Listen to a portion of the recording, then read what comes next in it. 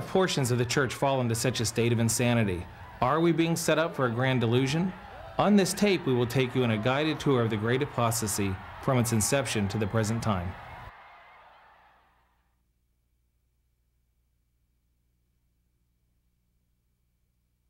In Matthew 24, Jesus gave a list of signs that would tell us his return was near.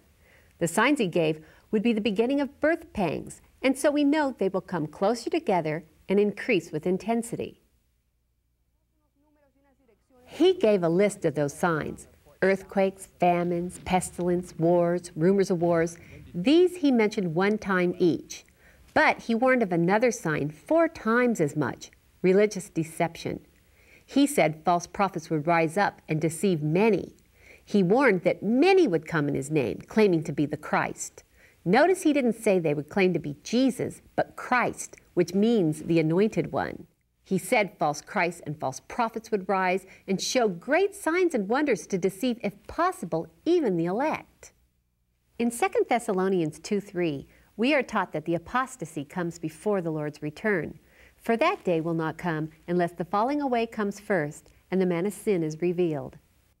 Forces that arose in the beginning of the 20th century conspired to wipe out that old time religion. Now, at the dawn of the 21st century, the forces are gaining momentum and joining together in an ecumenical unity that will ultimately result in a one world religion that the Bible calls the Great Whore. She is called that because she commits spiritual adultery by joining the truth with error. There have always been groups using the Christian label that are bankrupt of the truth, the largest being the Roman Catholic Church. Then there's the liberal side of mainline Protestant denominations whose scholars are under a biblical curse for adding to and taking away from God's Word. But the Bible believing evangelical side of the visible church held out against error and stood up for the truth. The spirit of Antichrist would have to corrupt them to succeed in his plan to build a one world religion that he would head up. But I believe the great apostasy is a close counterfeit that can even fool true believers. It began when some people in the evangelical church in the early 1900s sought to answer the question what is the evidence of the baptism of the Holy Spirit? This question is, in a sense, similar to the one which Jesus' disciples asked him Who will be the greatest in the kingdom?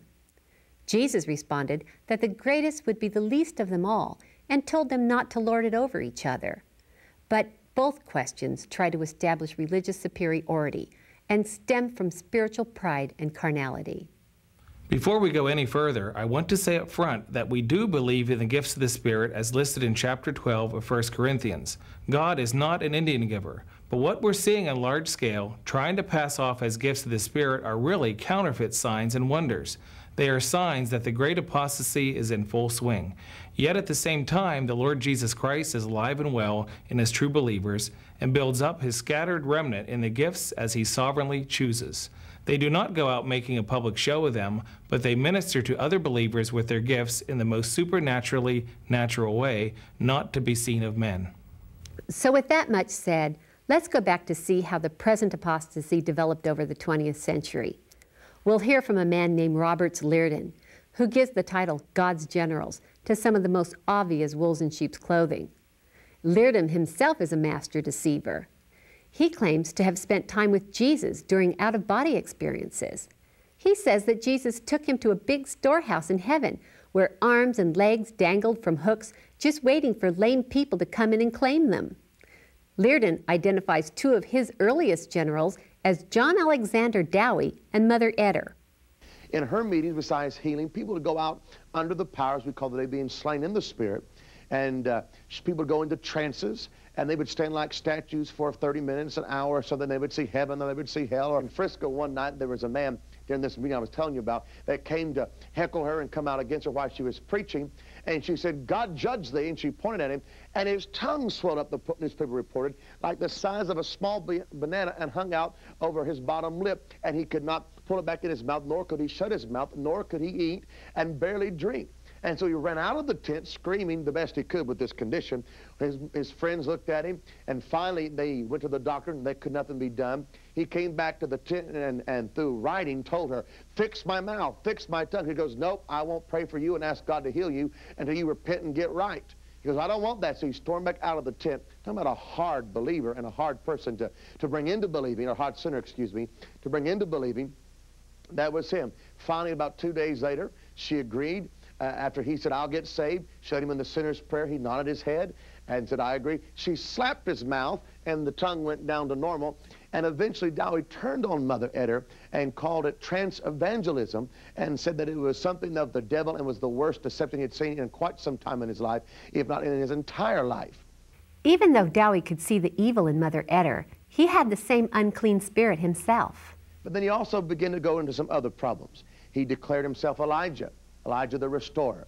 Then he also declared himself the first apostle of the Christian Catholic Church, which was a denomination that he was a part of. Then he began to dress up in his high priestly robe. He began to go off. His wife left him. And this was about the time that John Alexander Dowie began to uh, go off into some of his errors of identity where he thought he was Elijah the Restorer, one of the first apostles. He began to go off into some things that were not right. Roberts Liardon uses the term God's generals because these men and women are his heroes and he identifies them as the pillars of today's Pentecostal church. And yet he sees no contradiction as he demonstrates that most of them taught false doctrine and were touched with scandals. And Liardon makes excuses for his generals' behavior and recognizes their traits in their successors we have with us today. His God's General series documents how the health and wealth gospel was handed down from these colorful sources, starting with John Alexander Dowie. Charles Parham sought out the spiritual counsel of the old man Dowie, and as you can see from the next clips, he emulated him quite a lot. And Brother Parham was a, a unique personality. He also had this uh, love for the uh, Middle Eastern and uh, the Old Testament. So he would dress people up to get a crowd in Old Testament uh, clothes and Middle Eastern clothes and walk down the street and say the apostolic faith is back and everybody'd follow him. He went over to Chicago to see Dr. Dowie's healing homes in the city of Chicago to see how Dowie ran them. He went to another man by the name of Sanford that was kind of a off doctrine and thought he was Jesus reincarnated back on the earth. But he went there to see how he was running his healing homes. And he came back to Kansas and decided he would open up his own healing home in 1898. Parham's life ended in disgrace when he was accused of sexual misconduct. Reverend Parham, though, went through a few more challenges in his life. He was accused of immoral activity on the sides of homosexuality, which were not true at all. He was out traveling and preaching, and uh, there were those who didn't not like him. They were trying to have uh, trouble with him, and uh, they got in the newspapers and they arrested him for uh, indecent exposure and so forth and so on. And mainly they were coming against him because they said that he had sodomized a young man and that somebody had proof of it. One of Parham's students at the Bible school was an African American named William Seymour. He is the famous preacher of the so called Azusa Street revival of 1906. Almost every Pentecostal would point to Azusa Street as a marker of the current Pentecostal charismatic movement. But let's see what actually happened there from the point of view of someone favorable to Azusa Street. Azusa Street was. People came from all over L.A. The L.A. Times came over and reported weird babblings at this Azusa Street thing. That was the first report in California about the baptism of the Holy Spirit. Well, Brother Seymour began to print a magazine called The Apostolic Faith, kind of named after Brother Parham. Parham now received a letter from Seymour saying, why don't you come and help me with this revival? This thing took off. I don't know what to do. We've got some trouble with some flesh. We can't discern flesh from spirit. We respect you as our spiritual father. Come, come, come. And Parham uh, got out to Los Angeles, got there the first night and stood up to speak and got into the, into the mission. And uh, he looked around and he said, these things going on here that aren't right. He found people on the altar of Azusa Street with uh, spiritualistic act activities. Hypnosis was going on, as well as people receiving the Holy Ghost, praying in tongues, and God was healing people. There was great salvations going on. But he found that the two hypnotic uh, hypnosis people that were controlling there came up to him at the end of his first message and told him, we don't want you here. We want you to leave. And Parham no immediately began to say, uh, Seymour, we got to clean this up. This is not right. Notice that when Seymour arrived in L.A., his message was on the subject of the baptism of the Holy Spirit. And of course, the evidence as determined by Parham and his students was speaking in unknown tongues. As this message was preached, the pressure to come out with the evidence was heavy upon the listeners. Tongues became a spiritual status symbol. Those who didn't get it were looked at as inferior to the ones who could babble at will. So it's pretty apparent that these generals were dabbling with doctrines of devils and an unclean religious spirit. And they imparted this unclean religious spirit to the next generation. And I believe that's where the great mantle that was upon Mother Etter passed to Sister McPherson, that went to, went to Miss, Miss Kuhlman, and I believe today parts of it is held by Benny Hinn that we see today in our own, in our own uh, generation of the healing ministry. But it began back with Mother, Mother Etter to Mrs. McPherson. One of the generals who came on the scene in the 1940s was a man named William Branham. He's one of the best known faith healers who went out on the revival circuit. Many of today's crowd packing faith healers point to him as an inspiration. His boasting of his own importance comes out loud and clear in these clips. It was a stately poplar tree stood about halfway between the pump and the home. Passing by there, there was a whirl of wind in the tree, what we call here a whirlwind. Why, it was nothing odd for that time of year in this part of the country, but it remained in the tree. It didn't leave. I stopped to see what it was, and a voice spoke from it saying, Do not ever smoke or drink or defile your body in any way, for there will be a work for you to do when you get older. One night I was praying in my room, and when I raised up, I noticed there was a light on the floor. And looking around to see where it come from, it was coming from above. The pillar of fire was hanging just above, and was throwing the light on the floor. I heard someone walking. I looked coming through the room. Coming into this light came a man. He said, as Moses was given two signs of confirmation of his ministry, that I would be given two signs. One would be the praying for the sick, the miracles, and the other would be, you know, the very secrets of the people's heart. I told him that I had been praying about this, that the people told me that it was of the devil, the ministry. So if Branham is to be believed, then some paranormal thing got a hold of him, and he attracted people who think that if something is supernatural, it must be from God. But they forget the Bible's warning in 2 Corinthians chapter 11 verses 13 through 15. It says here, "For such are false apostles, deceitful workers, transforming themselves into apostles of Christ. And no wonder, for Satan himself transforms himself into an angel of light. Therefore, it is no great thing if his ministers also transform themselves into ministers of righteousness, whose end will be according to their works. Let's look at this messenger of light in action. Come out of the child, Satan by the authority of God's Bible with a divine gift ministered by an angel, I adjure thee to leave the child. And Brother Branham's healing ministry and his gift began to astound people all over the country. Now here's how Brother Branham would work in the early days. He was not very uh, much of a dynamic speaker. His personality was such that uh, people would sleep, they told me, until his angel would show up and uh, begin to help him to operate. He seemed to be dependent upon his angel, as he called uh, called it, to show before he could start operating these two gifts and begin to do what God told him to do. So Branham at nighttime would just stand there and he would talk and try to preach. And really many times he would just kind of ramble. I'm not trying to be disrespectful, but people would tell me, we just kind of sit there and eventually we kind of just doze off. But he, the angel's here, and when he make the comment like that, people would wake up because then his gift began to operate, things begin to happen, and the people had come to see the signs and the wonders. So Branham's so-called gifts could only go into gear if his own private angel showed up. In 1 Corinthians 12:11, we read, "But one and the same Spirit works all things, distributing to each one individually as he wills." So the Bible says that the gifts come through the Holy Spirit, not an angel. God is not an angel, and he is the source of true gifts. So Branham's angel must have been a fallen one. Case closed. Let's hear Branham's admirer, Robert Liardon, explain some of Branham's doctrines of demons. He began to teach that every time you saw a hearse or a casket go by uh, your house or you go by uh, a funeral uh, parlor or a funeral home and you saw those things, that all those things was caused uh, by a woman because he believed that women caused sickness and disease and death because of what Eve did in the garden. And so he had a very strong, toward the end of his ministry, anti-woman attitude. He believed that uh, even animals was of a higher creation than a woman because animals are made from nothing and a woman was made from the rib of a man. So he got into a lot of strange doctrines with women. He believed in the mark of the beast and taught that it was denominationalism. He prophesied in 1977 that America would be destroyed by bombs and wars. And so he began to get off into a lot of wrong uh, doctrines and teachings. Here's an example of the unbiblical paranormal manifestations Branham's followers boast about. There's another great story that I was told by a man that he was in one of Branham's meetings in Arizona and the power of God to hit the platform very strong and the piano player fell off the bench, but the piano kept on playing. Not to be outdone, TBN regular Dwight Thompson gives a similar testimony of the same sort of strange powers manifesting in his parents' little church.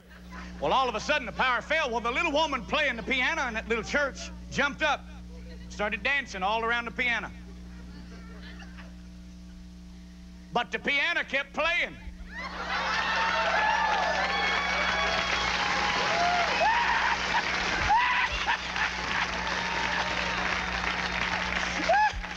Did you, okay, did you hear what I said? Hey, you, you that writes those books, Dwight Thompson.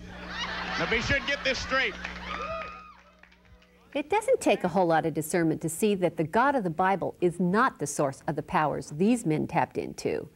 I believe that they came up with formulas to counterfeit the true gifts of the Spirit as they saw them in true believers in their day. Remember, God had true generals around in the early days of the 20th century. There were men of God like D.L. Moody, Oswald Chambers, Charles Spurgeon, and others who believed in the power of the Holy Spirit and whose lives testified to his sovereign power. But the rise of religious charlatans coincided with the Lord pouring out his Spirit in revivals around the world. The contrast between the highly publicized antics of the false teachers and the fruit of the great evangelists of the 20th century is striking. Unfortunately, people were drawn to the sensational. History has a way of repeating itself. And just as the Israelites in the wilderness grew tired of waiting on Moses, they turned to a God they could see and built the golden calf, saying that this is the God who brought us out of Egypt. Today, people are hankering in large numbers for the next move of God. Jesus said in Matthew 12:39 that it is an evil and adulterous generation that seeks after a sign. Let's look at the evidence of idolatry in the people flocking to mere men for their touch rather than seeking the real God of the Bible. Now, everybody here, you see this rock that I'm standing next to? Here's what I'm going to do. I'm going to uh, lay my hands on this particular rock, and I'm going to ask God to anoint this place. And any of you that are sick, just come up here and touch this rock, and I believe that when you touch it, the anointing that I leave in it, the power that I leave in it, will go into you and make you whole. You've been a great believer, and you have, uh, you have prayed for this hour that's standing here now. You have said in prayer to God that if you could uh, only get to me, that uh, if I would pray that your headaches would cease. You know, sometimes in the ministry of Oral Roberts, the prayer line on the last night of his crusade would be up to a mile. One meeting, it was three miles long of people waiting to be prayed for by Oral Roberts. And so, you know, these people were coming out of the woodwork. They were coming from the mainline denominations. They were coming from no denominational affiliation, no Christian background. They saw the miracles on television. They saw that God did it, and they were in pain, or their wife was sick, or their child was dying, and they made great sacrifices to get to these meetings. Oral Roberts outlived his faith healing counterparts and went on to infect the church with some of the most damaging false teachings. He popularized the seed faith idea that one needs to give money in order to get money, and he got very rich as a result of it. He perfected the art of turning Holy Ghost camp meetings into signs and wonders stage shows for the benefit of the camera. In this great tent, God is going to perform a mass miracle. The power is going to fall all over this place. And if your people in your homes all over America are in tune with God, when the power falls here, it'll fall there. The supernatural power of God with anointing would come upon my being, not only in my right hand, it would stand out in my right hand. That's the point I want to make with it. But the, but the presence of God was all over my body. There were times I felt like I could lift that whole tent. One of Oral Roberts' contemporaries, A. A. Allen, was moved to envy when he saw the huge crowds line up for Oral Roberts meetings. So Allen bought a tent and got into the competition. He went and sat under Oral Roberts' tent and saw Oral Roberts with that huge crowd come out and preach one of his magnificent sermons and begin the great prayer lines that he had every night under his gospel tent. And Allen sat there and saw this and took it all in. And this is what he said. He said, if Oral Roberts can do it, I can do it. And before he began to pray for the sick, he felt like he had to have the power. He knew he had the call, but did he have the power to actually produce the miracles that was needed for the people that came seeking them? So he locked himself away for a time of prayer and fasting. He got an actual closet, locked the doors, and told his wife, don't bother me. I'm going to find the answers to the miracle ministry. It seemed that Reverend Allen began to try to outdo the persecution by exaggerating some of the miracles that he talked about. A. A. Allen's mantle fell to his protege, R. W. Schambach, who carries on his flamboyant style of preaching. And now, ladies and gentlemen, it's my very happy pleasure and privilege to present to you at this time the man that God has anointed mightily with a supernatural miracle ministry. God's man of faith and power, Reverend A. A. Allen.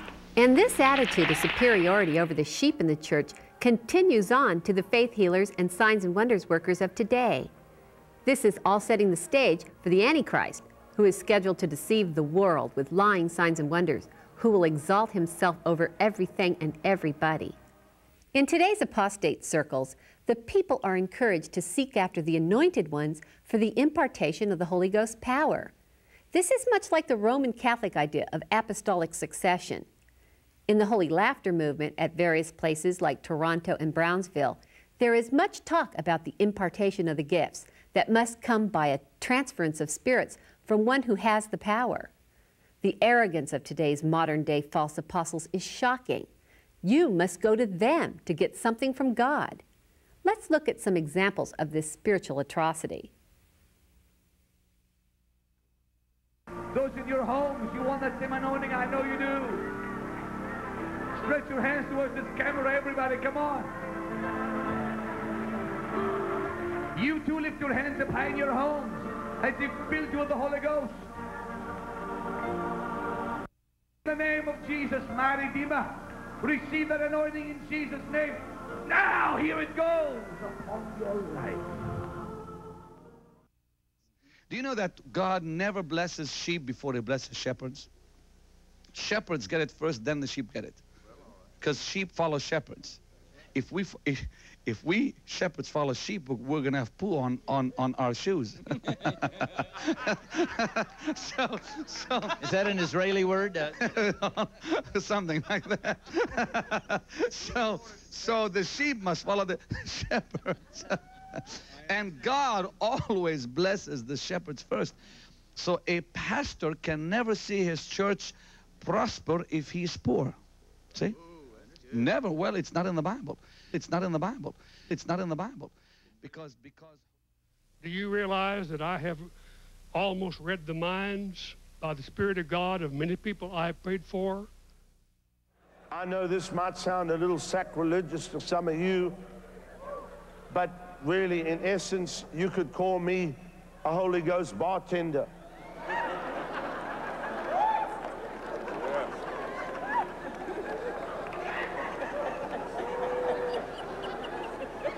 That's probably sacrilegious to some.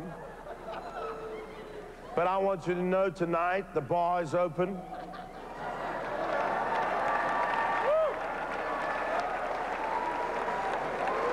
The name of the bar is Joel's Place. J O E L. The drinks are on the house. Yes, We yes. don't want poo on our shoes. Yes, I go. understand. I understand. Of course, in TBN's theology, as handed down to them from Azusa Street and beyond, the goal of their Holy Ghost baptism is the evidence of speaking in unknown tongues. So they have conferences and praise the Lord programs to teach one how to speak in tongues. The true gift of tongues is one of the easiest gifts for the devil to counterfeit. Even witch doctors and those in perverted sex cults speak in tongues. The late Dennis Bennett, an Episcopal priest, is one who helped popularize babbling in the mainline denominations. The charismatic renewal within the denominations in the 1970s promoted unity between the Protestant denominations and the Catholic charismatics. The glue that joined them all was the ability to babble in tongues. Doctrinal differences no longer separated them, and they all interpreted this as a move of God to unite Christendom. Let's look at some clips from a Praise the Lord program back in 1991 for a primer on how to speak in tongues. Father Bennett is recognized as one of the pioneers of what we called, and I guess still do, the charismatic renewal. Um, a renewed understanding of the work of the Holy Spirit amongst Christians of all denominations. We need to release him. We have to let him out. Just begin to offer him sounds. Just offer him sounds, like a little child learning to talk. And don't pay any attention to how you feel or how you sound. Just do it. The Crouch's next guest that night was the pastor of the Christian Faith Center in Seattle, Casey Treat, who has his own program on TBN. Let's see what he teaches on the gift of tongues. How do we channel this power? we need to channel. It's got to be that I believe it's for me and I receive it now. And that releases the power of God in our lives, whether it's salvation or the baptism of the Spirit or healing or whatever the case might be. So the gifts are ours as long as we know how to activate them? God is not the one in control anymore, we are? But I'll get back to that later on. Let's examine further this epidemic of counterfeiting tongues. Here is a sampling of those moving in their so called gift for the sake of the camera. Obviously, not the Holy Spirit, but the flesh activating them. See how you deliver people all right, well, away from their I possession. want all the, the Christians to stand up. Uh, What we do, what we do, Ann and Ross, is, is this. that At our church, a lot when we have a, when, when there's a deliverance, a classic deliverance of a demon-possessed person, we like a lot of praying in the Spirit, or what we call praying in other tongues. Now remember, Jesus said the first commandment is to cast out devils in Mark 16. You shall, in my name. Now the key is I have to know who I am in Christ. I better, I better know I have authority over this thing, or I'm going to get my clock clean. Now I'm going to come against this thing in the name of Jesus. All right. And the blood. All right. Start praying in tongues, everybody. Right the power of Jesus. Come out. In the name of the Lord. By the blood of Jesus. We command you to come out. Come out now. Jesus. Loose it. Loose it. In the name of Jesus. Come out. In Jesus' name. We rebuke you, foul spirit. Loose it.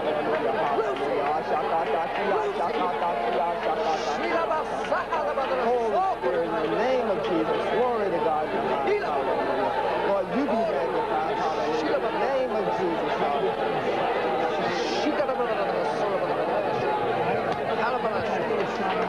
Dick? Hallelujah. In the name of Ah, thank you. All right. Now let me, let me it's, it's not um, always that easy or that quick. We're just acting this out. Dick Bernal, pastor of Jubilee Christian Center in San Jose, California, was demonstrating on public television how he would cast out a demon. Everybody's gift of tongues worked just as well on cue as it would have at any other time. But the Bible says in the second chapter of Acts that the people spoke in tongues as the Holy Spirit gave them utterance. Author Dave Hunt put it well in his book, Occult Invasion. He says, Nor can the gifts of the Spirit be taught for a fee and learned in a seminar. No one can initiate, mandate, or activate the moving of the Holy Spirit. Whatever the gifts of the Spirit may be, it is given in specific instances to effect God's purpose at that time. It does not become a power possessed by an individual which he can wield at his discretion. It's a great delusion for anyone to imagine that he possesses any gift of the Spirit in the sense that he can exercise it whenever he so desires. And that includes the gift of tongues, a gift which multitudes imagine they possess and can practice when they please, and thereby have been led astray. His warning should be taken very seriously.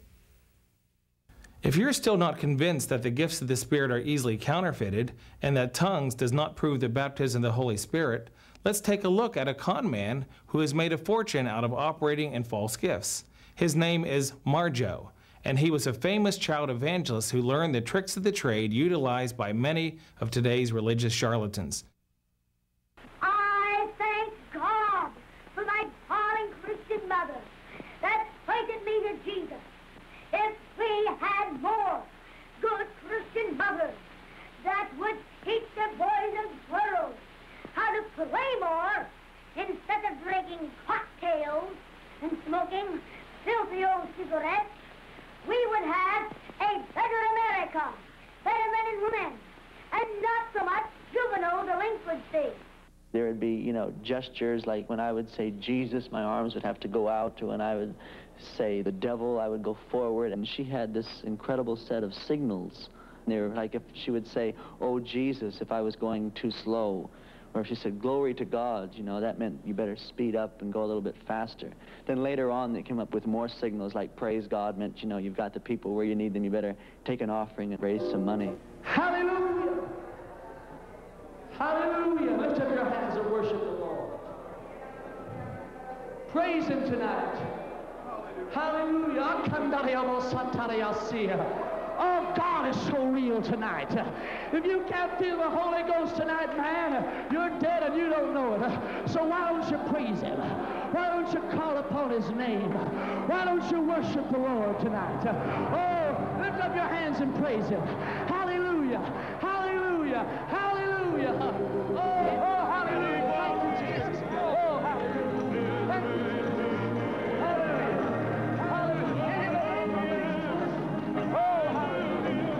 Notice the reaction of Marjoe's admirers. They are responding to his magnetism the same as we see today in packed out stadiums featuring Benny Hinn or Morris Cerullo. Brother, say Jesus. Right now, Jesus. Say Jesus. Say it again, Jesus. In the name of Jesus, brother, be loose. Be set free right now. That's right. Say Jesus. Just say Jesus. Say Jesus. There's the experience where you say you're saved. Then there's the fire baptism when you get the Holy Ghost, and that's the tongues thing.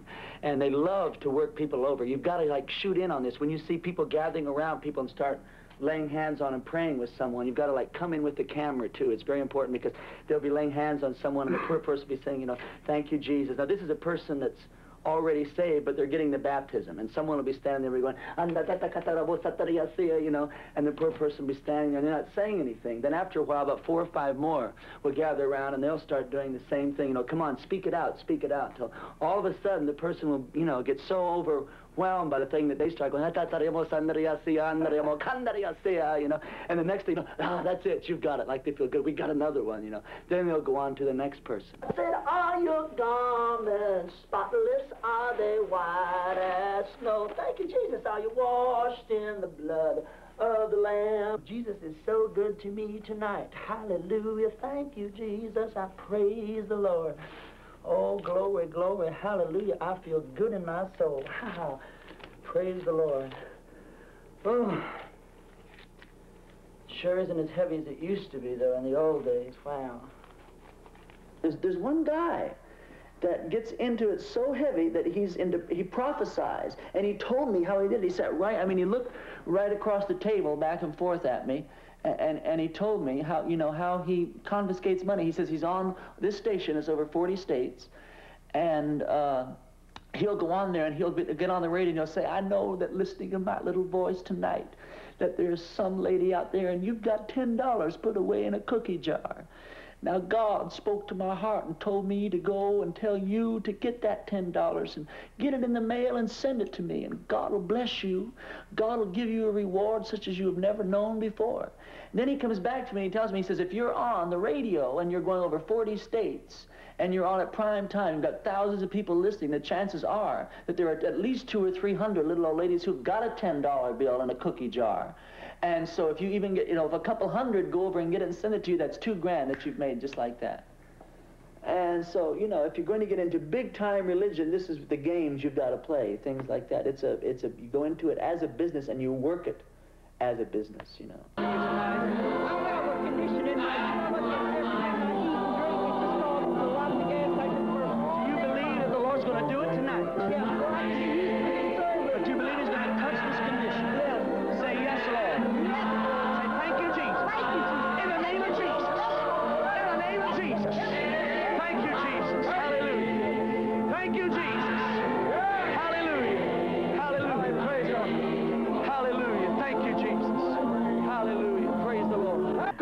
Is going to do something for you.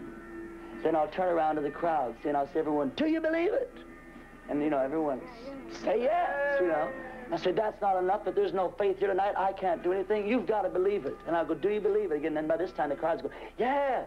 Oh, and I'll say, Sister, as I lay my hands on you, it's going to happen. By this time, you're just like this, you know, because I do a whole thing on you.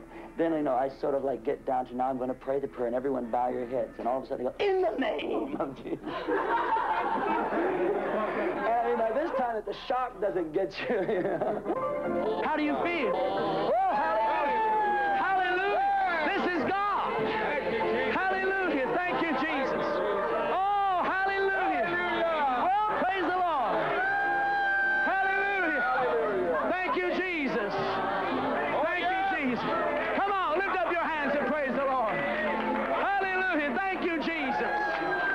Once you get one or two, once that you get one or two that really come off and say, yeah, I really felt that, you know, I had a bad back or I had a bad leg, then there's a whole slew that say, oh, yeah, I feel better too, because like 90% of it's psychosomatic. I feel better.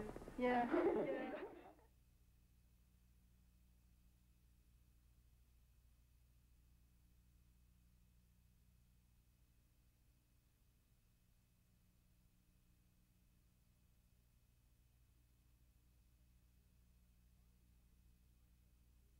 Child evangelist Marjoe could do it all. All the ridiculous hype you might see at a Benny Hinn rally, Marjoe had it down. He could speak in tongues, slay people in the spirit, and produce psychosomatic healings. But most importantly for Marjoe, he could collect big bucks. He could accomplish all of this and admittedly remain an unbeliever. Part of the formula given to learn to talk in tongues is to begin by practicing on one or two syllables, the same way a baby learns to talk. Of course, there is no biblical precedent for such a thing, but the dispensers of the gift will tell you to begin that way and just practice. As a matter of fact, when I was a new believer, I was led into babbling in this way. And not having any grounding in God's Word, I submitted to it, and pretty soon I could babble as good as any of them. The only difference is my conscience bothered me tremendously because every time I did it, I was under conviction that it was me and not the Holy Spirit. One of the true gifts of the Spirit kicked into high gear the gift of discerning of spirits. I discerned that it was not the Holy Spirit in control, but that I was opening myself up to deceiving spirits by this unbiblical practice. I repented of it, and peace again flowed into my life. Here's a sampling of what I'm talking about. I was standing outside of a church in Houston, Texas one night, and our guys had somebody loaned them a Corvette. Boy, and they was excited. We was going to Denny's to eat. And one of our little, one of our girls, Joyce Hunter, walked over to the car, and she said, "Well, where are we going?" And they said, "Well, Joyce, we're going to Denny's." Well, she was standing by the car. They pulled off, and they pulled over her foot. And when they did, she just literally crumbled to the ground. Well, the boys, I didn't even know what had happened, and a couple of the guys that were standing there with us reached over and picked her up and carried her over to my car and set her down. She was screaming. And when I went over to her, I, I didn't know exactly what happened. They said uh, the car ran over her foot. Well, I just picked up her foot and put it in my hand. I said, Apo Shadlamakasa, in the name of Jesus, you be made whole by the power of God. So I feel that same glory right now. I'm not ashamed of the Holy Ghost, folks. Now, I don't know about you, but I'm not ashamed of the Holy Ghost. They begin to speak with other tongues. And darling, don't you think that's not unusual? That is an unusual response. When it happened to me, oh mercy, I was in a church, everybody was talking in tongues. They had fluent tongues. Oh, they were arabando kapaparabasia, and all I had inside of me was one little word floating around. Pookie poo. Pookie poo. And I thought, oh God, if I say pookie poo, I'll be destroyed. Uh, it'll be the end of my life if I end this. Everybody say, come on, man, turn it loose. Come on, you can do it. And I'm thinking, pookie poo, I can't say that. And finally, I just said, a pookie pass. He's got it. He's got it. And, and I mean, the whole crowd went wild. All I said, but it was very unusual response. And with that unusual response, I got filled with the Holy Ghost. I was not, it wasn't in the Bible anymore. It was walking around the church. It's pookie poo, pookie poo, pookie poo. I was just going like a house on fire. Now, let me ask you another question. How many speak with other tongues here? Raise your hand. All right. Go ahead and speak.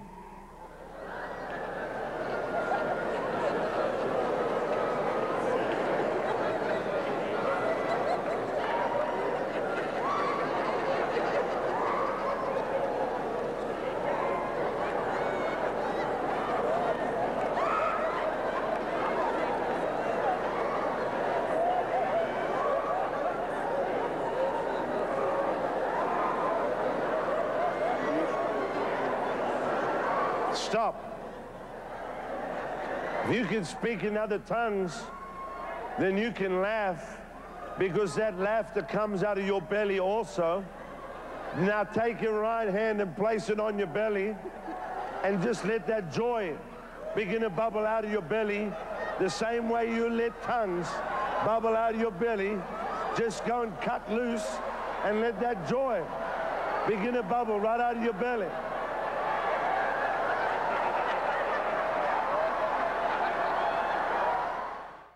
There are some Bible scholars who insist that the gift of tongues is no longer operational in the church today. They use a passage in 1 Corinthians chapter 13 that refers to a time when tongues shall cease. But I don't buy it. I believe that all the gifts of the Spirit are for today. However, in my travels throughout the United States, I've seldom seen the gift of tongues demonstrated in a biblical way, and the Bible does not teach that having the gift of tongues is evidence of being filled with the Holy Spirit. Paul asked in 1 Corinthians chapter 12 verse 30 whether all spoke in tongues, and of course the answer was no. And concerning how the gift of tongues should be exercised, Paul, in 1 Corinthians chapter 14 verse 40, said that this gift, along with others, should be practiced in decency and in order. He says earlier in that chapter in verses 27 and 28 that, quote, if anyone speaks in a tongue, let there be two or at the most three, each in turn, and let that and let one interpret. But if there is no interpreter, let him keep silent in church, and let him speak to himself and to God. He also says in verse 23 that if the whole church comes together in one place and all speak with tongues, all at one time, he means, and there come in those who are uninformed or unbelievers, will they not say that you are out of your mind? Yet this is exactly what I've seen on the Trinity Broadcasting Network and in the majority of tongues talking charismatic and Pentecostal churches today. It's bedlam because things aren't done decently and in order. It has been so out of order that some visiting non believers do believe these Christians have gone mad, and they certainly don't want to be like them or to come back. A friend of mine went to a church where the same lady stood up every Sunday to give an interpretation of tongues. He wanted to test the spirits, so he brought a friend who could recite the 23rd Psalm in Yiddish. So when he stood up and did so, the same lady spoke out the interpretation without so much as mentioning, The Lord is my shepherd, I shall not want. Her interpretation was just a continuation of her weekly drivel. Today we're seeing other manifestations of some unknown spiritual power that has no biblical support whatsoever. These include holy laughter, slaying in the spirit, spiritual drunkenness, Holy Ghost glue, convulsions, and jitters, among other questionable lying signs and wonders. They are tapped into in the same way counterfeiting tongues are. Let's listen to faith healer Benny Hinn give a testimony as to how he can operate his gifts in the flesh. And I, I prayed for this guy, and he had a wig on. and and Okay, that's uh, enough. That's no, enough. wait, wait. That's enough. You're getting too close to home. No, go ahead. I want to hear it. and when he hit the floor, I was in a, in a church called Islington Evangel Center in Toronto. And the way the auditorium is, it goes up. So the people really couldn't see what was happening on the floor, except just a few on the front row area. When that man hit, uh, fell, his wig went poop up like that. And he, he reached for it with both arms and put it back on his head while on the floor. I see. So he came up and I just wanted to have a little fun, he said. so I laid hands on him again and wham, he goes down and there goes the wig again. and there he went, there he went reaching for it back on his head. And every time he did that, the wig was just a little, you know, a little uh, out of shape. So We need pictures of this one. Oh. Third time, I laid hands on the third. There he goes, and the thing flies again. Now, about the fifth or so time, and I was having, I was having a great time praying for him. This was in the spirit of This was in the flesh. This was in the flesh. it was not in the spirit, Paul. So now he falls. See, I'm telling you about my younger days, so you gotta forgive, all right? uh, and now he, he goes down again about the fifth time, and now when he comes up, and his wig is just all over the place, I'm about to lay hands on him again, and he grabs my arm. Guys, grabs my arm, he says, just a second. and then, and then he took his wig, threw it up in the air, and then he said, go ahead. Yes. See, some things they have to fall Mm. to get it. And so they'll fall, then can, they can hurt them themselves. If they're doing it in the flesh. So the catchers aren't for those who really fall. Because if you really fall, I know you can't get exactly what hurt. you mean. Yes. So we have them for protection for those who think you have to fall to get something. There is a certain amount of flesh, isn't there? I mean, Oh, some people just keel themselves over, don't they? What does Benny do? what do? does Benny do? Show me.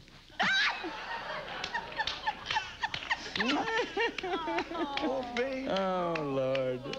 Many of those operating in the Signs and Wonders ministries admit they have a desperate need to see the supernatural powers, much like the magician in the eighth chapter of Acts. The late John Wimber used to call it doing the stuff.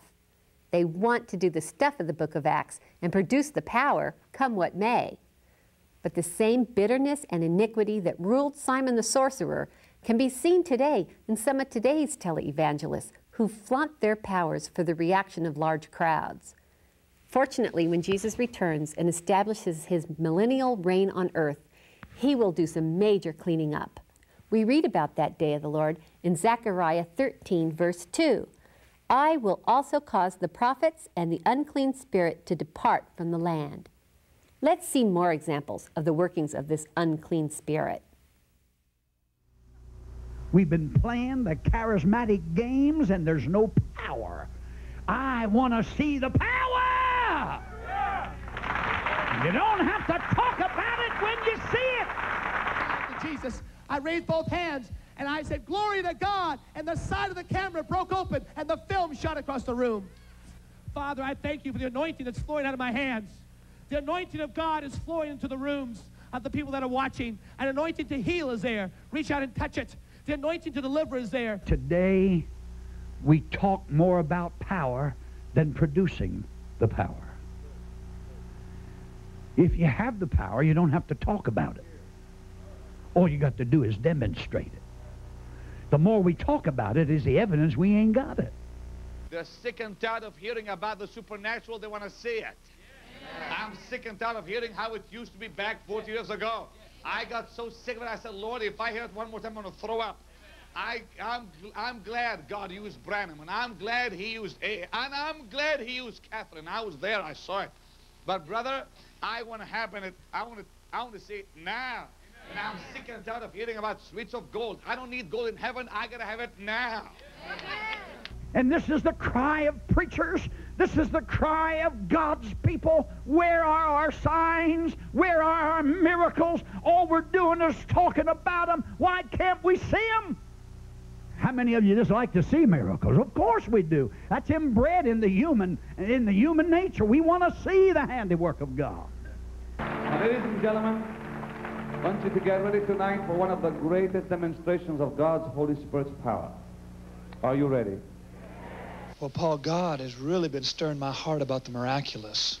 And one of the things I've realized from many different stories is miracles happen because people called out to Jesus and they said, Lord, we're for something to happen. We're going to make something happen.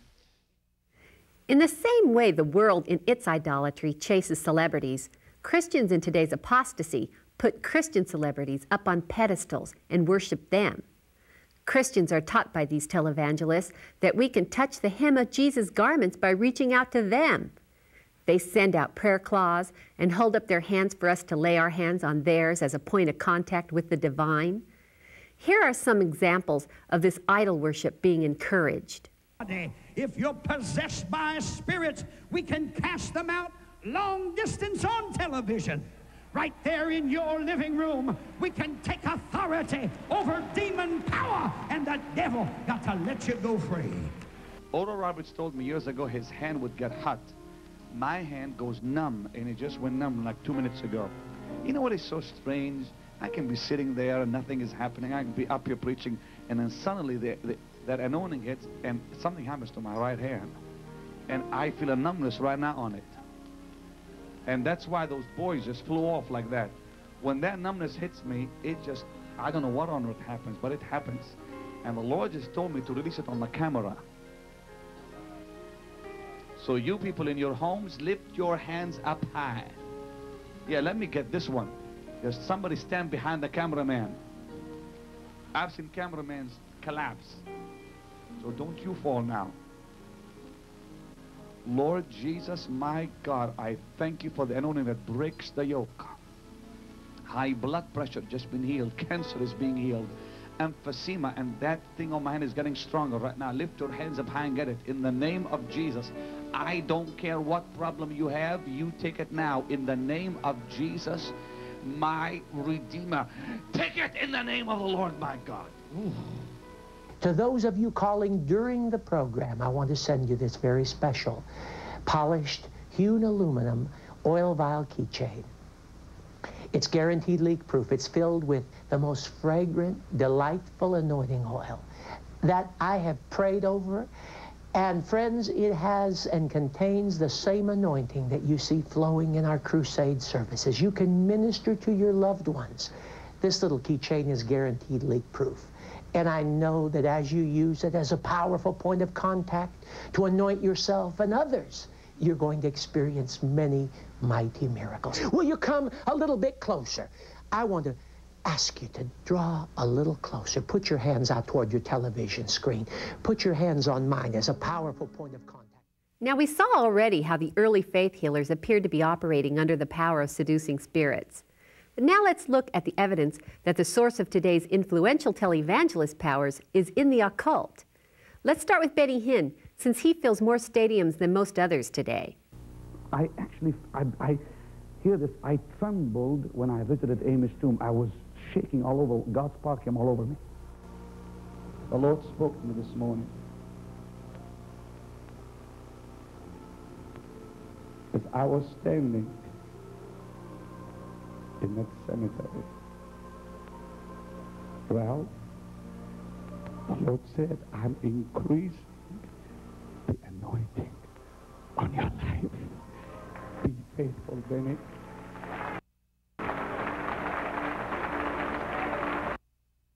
What did, Norman. And God used you to take me there, Norm, this morning. But then when the anointing hits me, I change. Benny becomes a different boy. And something happens inside of me. I don't know how else to say it. So Benny Hinn got his anointing from a cemetery. The Bible has nothing but condemnation for seeking after the dead. It's called necromancy. It comes right out of the pit of hell. And when this anointing comes on Benny, he says it makes him a different boy. It is no longer Benny. Well, if it's no longer Benny, then who is it? It sounds a little bit like channeling, doesn't it? Let's take a look at other clips that reveal a source of power involved that is surely not of the Holy Spirit. The Holy Spirit never draws attention to himself. The Bible says he will testify of Jesus and guide us into truth. The Lord said, Take those from the east, lay hands on them, and send them out as messengers of light. Messengers of light. And I would be preaching in a Southern Baptist church, a Southern Baptist sermon, and all of a sudden things would begin coming out of my mouth that I didn't even believe. Like, and my mind would be racing forward to think about what I was going to preach next, but it would be moving backward, and I'd be saying to myself, did I say that? I don't believe that. I would literally see forms of angels appear in my bedroom, just watching me talking. Mm-hmm. And every time I would do it, they'd look so puzzled, like, what does God want with him? They almost give me that feeling like, what does God want with him kind of a thing. Mm-hmm. And many times, I, I would, and I saw them in different shapes, by the way. There, I actually saw little ones, mm-hmm. about the mm-hmm. size of little boys. I saw that. I saw that. Now, often I'd have my eyes closed, and I always prayed with the lights off. It gave me an intimacy. Don't know why, but I did. And to this day, many times, I just shut the lights. Because, you know, it, it, uh, it helps you just pray, but I guess, I don't know. And maybe it was maybe it was my upbringing because the Catholic uh, teaching was that, you know, you have to close yourself in. But we'll pray a general prayer to begin with, and we'll lay hands on you.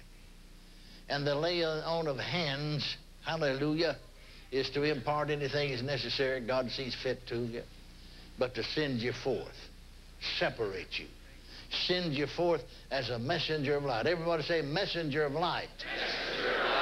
Hallelujah. Thank you, Father. Even though these guys spend all of their ministering time in front of a camera, the spectacular signs and wonders they are always talking about never get caught on tape. We hear so much about the dead being raised, but it has never been documented. I checked up on one supposed dead man that TBN regular Nancy Harmon testified was raised up in her church, and it turns out that it was a big lie. The guy's name was Ralph Bickle, and if he had truly died, they would have given him CPR. But according to the pastor, no CPR was done. It was all Nancy Harmon hype told during a TBN fundraiser. She must have learned that from A.A. Allen, the faith healer she served with, who died of a liver disorder caused by severe alcoholism. Here's a testimony that didn't get caught on tape. There was a lady that weighed close to 400 pounds. They said more on the side of 500 heading that way as the report goes. Came to the tent and said, Reverend Allen, pray for me. I have a biological problem in my body that I cannot lose weight, and if something don't happen, I'm going to die. Allen prayed for her. She fell out on the tent floor there on the sawdust, and uh, a few moments came by, and she came to, and when she got up, over 200 pounds had supernaturally disappeared uh, from her body, and when she stood up, all of her undergarments fell off onto the floor. One of the biggest marks of the apostasy can be seen on Christian television when Jesus is downgraded and the church is lifted up. We hear about the conquering church and how great we are instead of how great thou art. The spirit inspiring such arrogance is the same one that worked upon the Roman Catholic Church that claims their sacraments are necessary for salvation. See if you can spot the religious unclean spirit in these examples. Now, I don't care if your group likes to hear me talk about confession, blab it and grab it and all that other junk you've talked ugly about me and said about all us folks who talk about confession. Talk on, brother. You can't interfere with the covenant that I have of Jesus as the apostle and high priest of my words. And now Casey Treat's coming to tell us how to channel full power into good things, productive things for the kingdom of God. I think the scripture says the power of God's available every day. We just got to know some keys, how to reach in there and lay hold on it. God's done all he's going to do about the devil. Jesus has done all he's going to do about the devil. Now it's up to you and me to go take charge in Jesus' name. When you say, I am saved, what are you saying? You're saying, I am a Christian. What does that word mean? It means I am anointed. You know what the word anointed means? It means Christ. When you say, I'm a Christian, you're saying, I am Mashiach in the Hebrew. I'm a little Messiah walking on earth, in other words. So it's a bunch of silly semantics, isn't it? We're, in a sense, we are little gods, then, aren't we? In, in that sense. Yes. So those that would put that teaching down want us to have a beginning and an end. Yes. That's Satan, isn't it? Those that put us down are a bunch of morons. Glory to God. Glory to God. If you'll speak with your mouth what you believe in your heart, you'll have whatever you say. We don't have to pray for your will, Lord. And that same Holy Spirit wants to send spiritual light to a darkened world today, but He's waiting for you and me to say, Oh, that spoken word is the key. Speak that thing, decree that thing, and it shall come to pass. Whatever it is in your life that you're decreeing right as we speak a thing together it intensifies it. It as john says it supercharges it. You've got to say it. You've got to speak it. You've got to s- decree it. You decree the thing you pay your vow and then he brings it to pass. It's in the word. It's all through the book. So, according to Kenneth Copeland, Jesus is the high priest of my words, and whatever I say rules.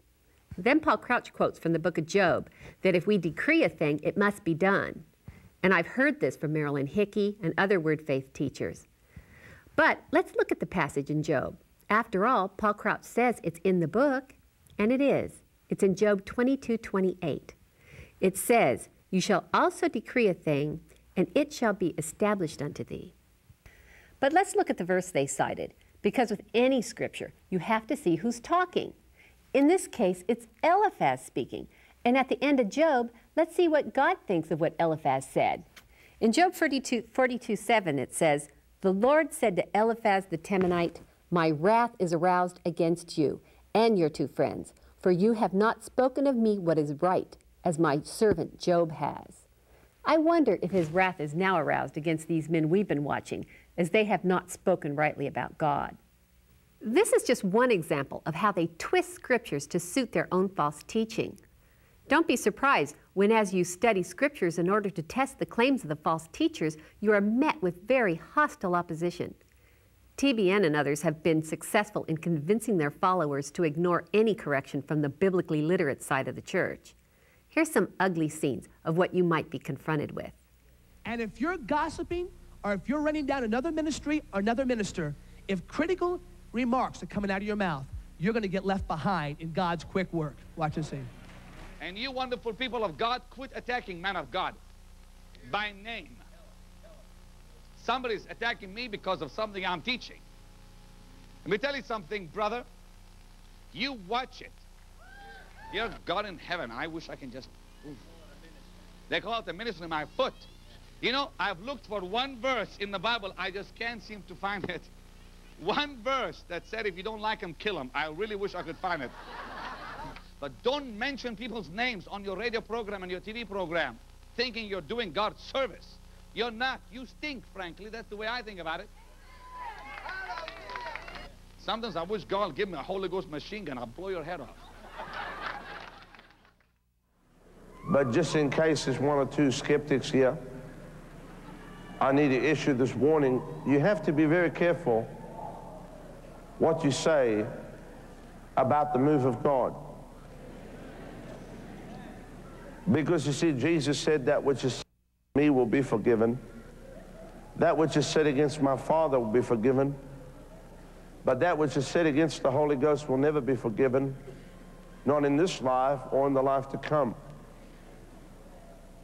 And blasphemy, people don't understand this, blasphemy against the Holy Ghost is when you attribute what God's doing to the work of the demonic. And you know what? If you're not careful, some of these heretic hunters who take pleasure in riding around in an old rattletrap car had better be careful because... Oh, give me a holy hoot. No.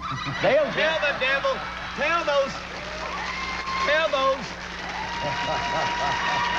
tell those silly people to go take a flying leap. I don't care what those kind of people think. Man, this is God's work. It don't have anything to do with what these fuzz brains think anyway. Let's believe for the blessing and get the gospel out. And Well- yet the people that are in bondage to money, the people that are in bondage to money, you want me to tell you? Listen here, this is making me mad. More. Take your stupid book and stick it in the bottom of a bird cage. That's where it belongs.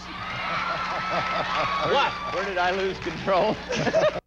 That's where it belongs, is in the bottom of a bird cage. And I want to say to all you scribes, Pharisees, heresy hunters, all of you that are going around picking little bits of, of doctrinal error out of everybody's eyes and dividing the body of Christ and arguing over splinters and doctrinal hairs and, and dissipating and wasting all of our time when the world's going to hell, I say get out of God's way. Quit blocking God's bridges, for God's going to shoot you if I don't. I'm tired of scribes, Pharisees, hypocrites blocking God's bridges when the harvest is perishing out there and God's calling the body to come together. Let Him sort out all this doctrinal doo doo. I don't care about it. I, did you build my kingdom here on earth? The rest of this stuff is what Paul the Apostle calls dung dung, human excrement. It's not worth anything. Get rid of it. I refuse to argue any longer with any of you out there. Don't even call me if you want to argue doctrine, if you want to straighten somebody out over here, if you want to criticize Ken Copeland for his preaching on faith or Dad Hagin. Of my life. I don't want to even talk to you or hear you. I don't want to see your ugly face. Get out of my face. In Jesus' name. Paul Crouch certainly has that right. He does refuse to contend over doctrine anymore, as he has increasingly been inviting some of the most obvious false teachers on his network as honored guests. and has allowed a new wave of people who refer to themselves as prophets and even super prophets to grace his airwaves. Examples of this are allowing false teachers like Kim Clement, Rick Godwin, Bernard Jordan, Rick Joyner, and Mike Murdock, and others to grace his airways while barring some solid Bible teachers who are concerned about sound doctrine to come on as guests. The Bible speaks about the need for accountability and correction within the church. Yet Paul Crouch has shut the door on all the watchmen in the church and has villainized those who speak the truth in love. Dozens of letters have been sent to him without a response. Christian leaders who have expressed concern to him are seldom ever invited back on as guests. One possible reason that Paul Crouch hates the Bereans in the church is that as false doctrines seen on TBN are exposed, they are hurting the bank account. Unfortunately, though, he has the attention of the sheep 24 hours a day around the world and has trained them not to think, but to just swallow everything they say unquestionably. They do rake in the money, but it takes scripture twisting to fleece the flock on such a grand scale. With every fundraiser they call Praiseathons, they utilize a man we've already looked at, John Avanzini, who is a master manipulator. And guess what? It works. But woe to them. The Apostle Paul was just as astonished as we are that people who have embraced the truth are so quickly led astray. He wrote in 2 Corinthians 11:20, "For you put up with it if one brings you into bondage, if one devours you, if one takes from you, if one exalts himself, if one strikes you on the face." Let's look at John Avanzini in action. Now, the heretic hunters, of course, would say, now, Jesus would have healed that servant anyway, whether he'd have built a synagogue but, or not. They, but they probably wouldn't be able to say it on television because they can just, they can barely keep the rent paid on the building, much less shoot up satellite because what they're doing don't work. Poverty can take your, make your word be ignored. You want to talk about a blessing? It's a blessing whenever you start to tell somebody how to get saved and they sit down and they want to hear it. Quite something else when they look at you and said, man, I don't want what you've got. You saved? Wow. But let me tell you something. I don't want to live like you live and have to drive around like you drive around. Listen to it. Your words are not heard when you walk in insufficiency, when you walk in poverty. Now, I can get a call from somebody, you know, Brother John, I want to tell you that I, I don't think it's right to be preaching about money and blah, blah, blah, blah, blah, and, you know, I don't have any money and I'm getting along fine. I'm not going to listen to that very long. But you let somebody call me up you let somebody of import, you let one of these, you let a businessman call me up and say, Brother John, I want to tell you how God has blessed me, and I want to put some finances into the kingdom of God. I'll listen to that man. You'll listen to that man too. Child of God, our words have to be heard if we're going to be effective Christians. And one of the curses of poverty is no one wants to listen to you. No one wants to listen to you. Darling, hear me. Don't expect the miraculous until you're ready to do the ridiculous. And I can show you that from one end of Scripture to the other, that the miraculous came when the ridiculous was done. They certainly do insult the poor of this world. The Bible has many rebukes for such evil attitudes. In James 2 5, we read, Has God not chosen the poor of this world to be rich in faith and heirs of the kingdom, whom he promised to those who love him? God hates their arrogance. In the same chapter of James, we're told, For if there should come into your assembly a man with gold rings in fine apparel, and there should also come in a poor man in filthy clothes, and you pay attention to the one wearing the fine clothes, and say to him, You sit here in a good place, and say to the poor man, You stand there, or sit here at my footstool, have you not shown partiality among yourselves, and become judges with evil thoughts? Let's look at some clips to see a demonstration of this wickedness and hear Avanzini call this evil good. And that person came in and, and my, they met him at the door and they were glad to see him and they walked him through the building and they showed him everything. Well, why doesn't everybody get that treatment that comes to the studio? Well, see, he was a giver. He gave to Trinity Broadcasting. He was one of the partners. So there was room for him. When he came in, we, we not, I don't think there's anybody in the room ever met him before, but room was established for him. It makes a place for him, see? The late Walter Martin used to say we can know a wolf in sheep's clothing by its diet. A wolf eats sheep. Here's a bird's eye view of the sort of fundraising that is designed to compel people to give or their prayers can't be answered. It would seem God has to be bribed in order to bless his children. These people grossly misrepresent our precious Lord and Savior. Just in my spirit in that car, the Lord said to me, I said, do not come before the king without a gift. Mm. And you know, if Mm. you look it up, it's it's kind of frightening. It's like not verily I say or maybe I say. It's this. It's in Exodus 34:19. This is the uh, the version of the Living Bible. And no one shall appear or stand before me without a gift. Mm. He's the king. Amen. We come, we worship, we talk about him, we love him. But see, he depends on us to keep his kingdom going. We need to give so God can bless us. Oh, I mean, I know that sounds a little radical, and I didn't always know that or even believe it. I had to test it and prove it myself. We need to give so that we can receive, because that's God's law. Now, I know the heretic hunters are going to have me on the spit barbecue for this, but let me tell you.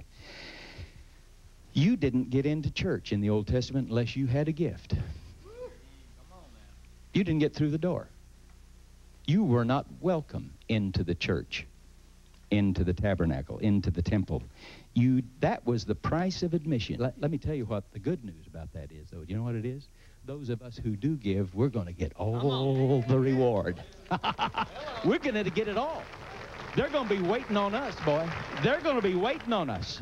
They're going to be washing our feet. They're going to be bringing you your late night TV snack dinner. They're going to be waiting on us in heaven. Yes.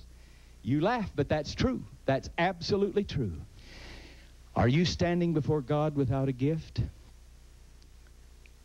Don't expect God to keep his part of the contract to help you, provide for you, keep you well, drive out your enemies, do all the things you desire of him unless you are keeping your end of the contract.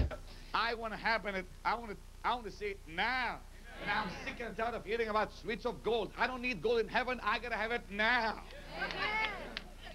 I mean, when I get to glory, all my bills will be paid, brother. I won't have bills in glory. I won't need to worry about bills in glory. I can have it here.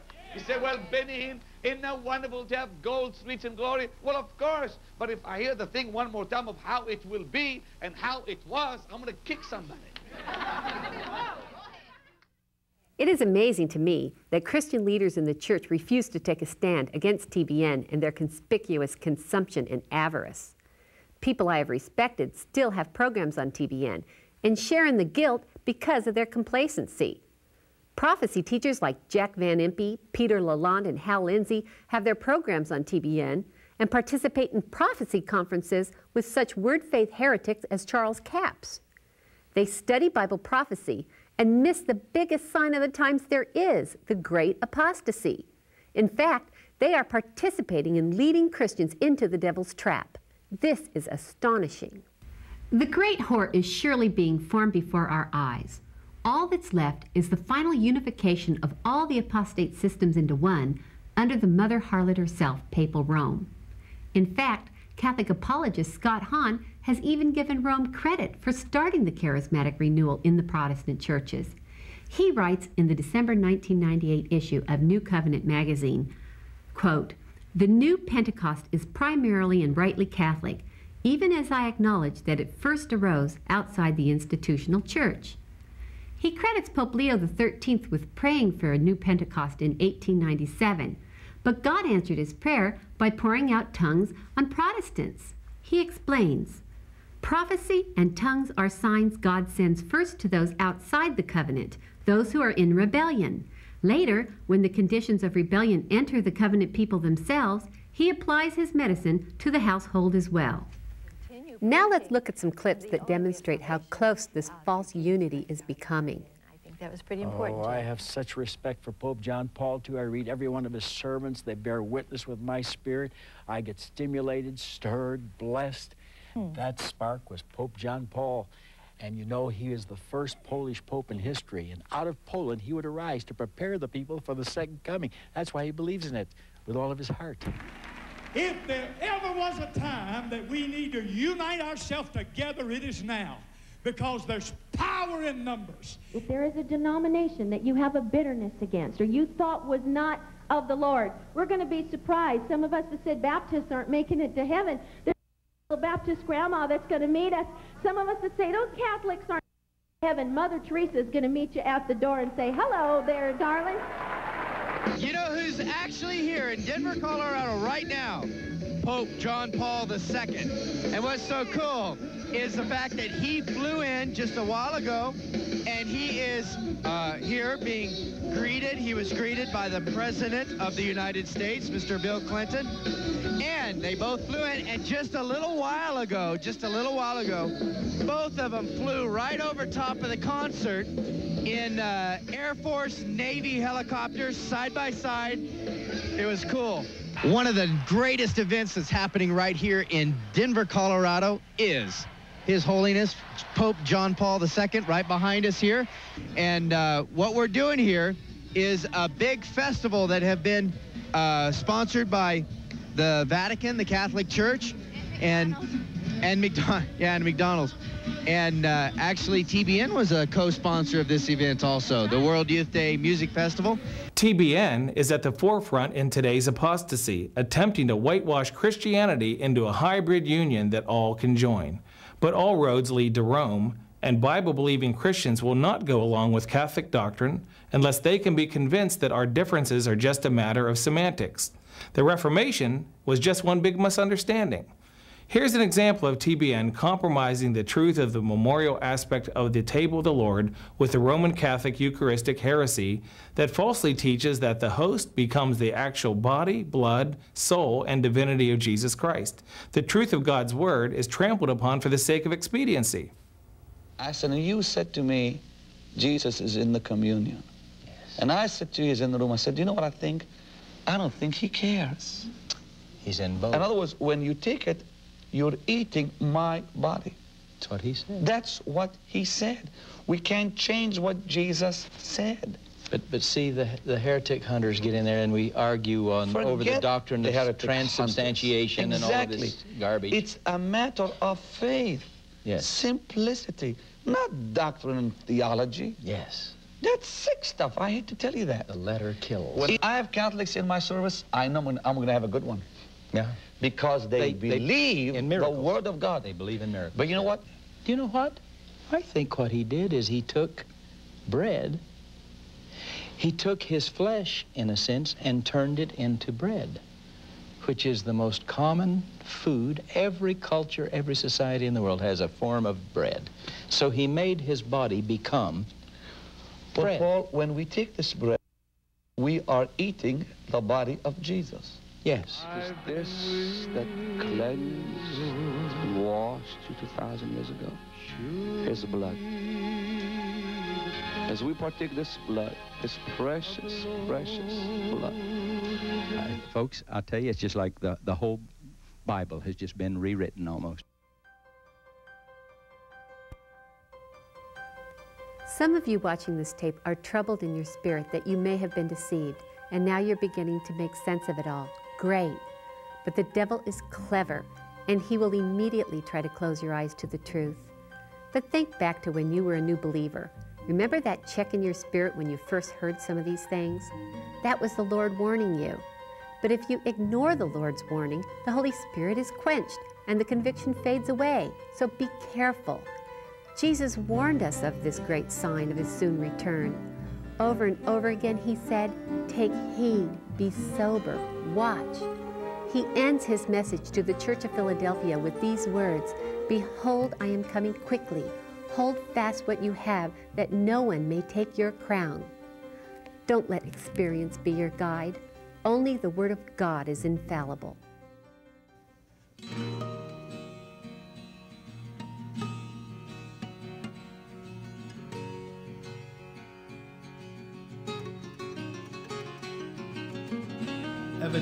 Some people are throwing you into confusion and are trying to pervert the gospel of Christ. But even if we or an angel from heaven should preach a gospel other than the one we preach to you, let him be eternally condemned. As we have already said, so now I say again, If anybody is preaching to you a gospel other than what you accepted, let him be eternally condemned. Am I now trying to win the approval of men or of God? Or am I trying to please men? I were still trying to please men, I would not be a servant of Christ.